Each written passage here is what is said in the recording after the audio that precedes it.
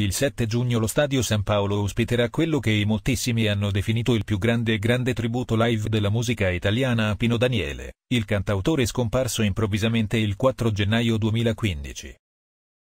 A ricordare l'artista saranno in tantissimi, tra questi ci sarà anche la seconda moglie Fabiola Sciabarrasi.